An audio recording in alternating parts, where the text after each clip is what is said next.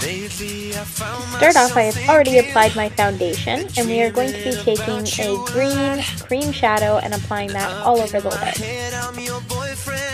Next, I am applying a white shimmery eyeshadow stick to the inner corners of my eyes. Taking the two lightest colors, I am applying that to the inner corner and just under my brow bone. Then taking the brightest green in the palette, I am applying that to the lids and just blending it out with the darker green.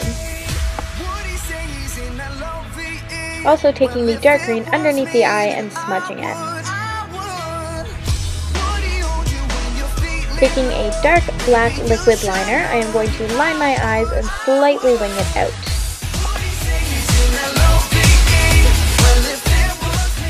Then I will curl my lashes and apply mascara just as I usually do.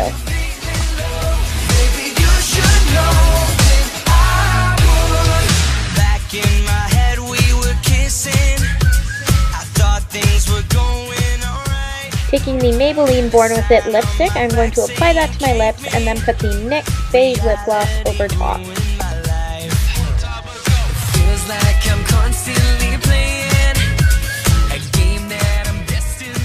That is the finished look. Thank you for watching and please subscribe. Bye!